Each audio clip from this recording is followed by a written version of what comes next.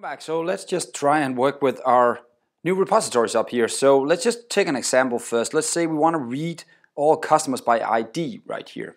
Uh, that's going to be my first example in my repository that I want to implement. And jumping into the new repository, I'll see there's a method right here. Of course there is, because I inherit, I use the iCustomer repository. So since I'm using that, implementing that, I actually have to have a read by ID, and that's why it's here. So we just need to change it now. Instead of actually not implemented, I should probably do something, right?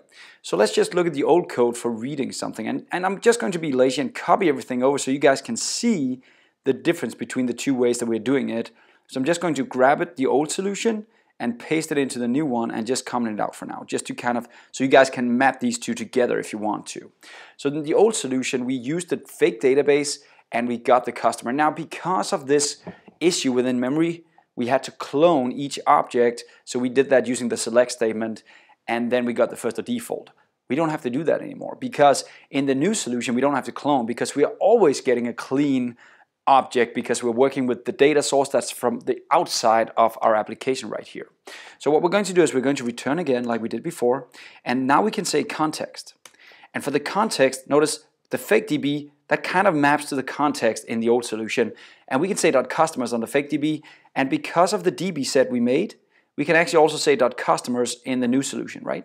So I'll say .customers, right? So nothing new here. And the last thing I'll do is I'll say, just like you're doing here, first or default, I'll actually use the, just to show you how easy it is, I'll use the exact same code. I'll just paste that in right here, first or default. And of course I need to kind of implement, and you need to use queryable because this is not enumerable LINQ, this is actually queryable LINQ. So I'll just use that one, and there we go. Now we have a customer available. That's all we have to do. And notice how similar these two are. Let's also do the read all and then we'll end this lesson just to kind of show you how easy that actually is. So jumping back to my code right here, the repository, I'm going to find the read all. It says return fakedb.customers. So let's just paste in that old code and just comment it out so you guys have it available.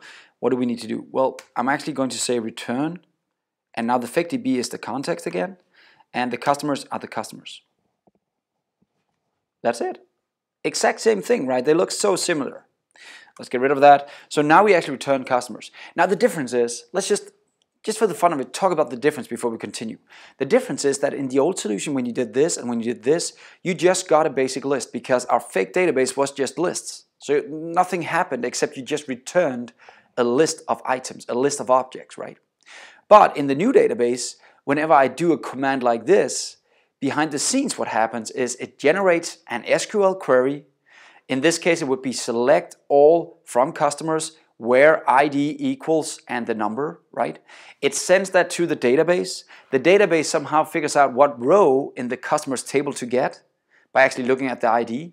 It returns that guy back to us and it converts it from the SQL into actually being C-sharp objects right here. So we get a C-sharp object back. So there's a lot more work going on here, but the, the syntax of the code is exactly the same. So we just set up now for the read all and the read by ID. Next time, let's try and do the create. See you next time. Have fun.